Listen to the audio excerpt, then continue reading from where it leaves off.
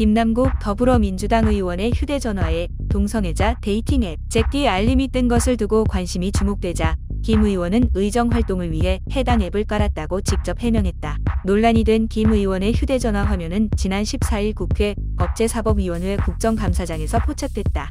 당시 김 의원이 포털 사이트에 자신의 이름을 검색해 관련 기사를 읽는 모습이 촬영됐는데 네티즌들은 김 의원의 스마트폰 화면 상단에 알파벳 J 모양의 앱 알림이 뜬 것을 보고 동성애자 데이팅 앱인 잭디 알림이라고 추정했다. 이에 각종 온라인 커뮤니티에서는 김 의원이 강제 아우팅 당한 것 아니냐는 주장이 제기됐다. 아우팅은 성소수자의 성적 지향이나 성별 정체성에 대해 본인의 동의 없이 밝히는 행위를 뜻한다. 김 의원은 온라인을 중심으로 논란이 계속되자 지난 15일 온라인 커뮤니티 DC 인사이드 더불어민주당 갤러리에 실명으로 직접 글을 올려 해명에 나섰다. 김 의원은 해당 앱은 국정감사 준비 단계에서 최근 문제되고 있는 스캠피싱 관련 실태 조사 차원으로 제 폰과 의원실 보좌진 핸드폰에 설치했다.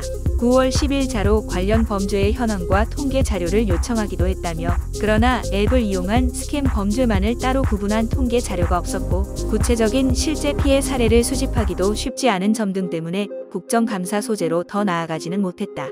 이후에는 앱 삭제 조치를 따로 하지 않았다고 설명했다.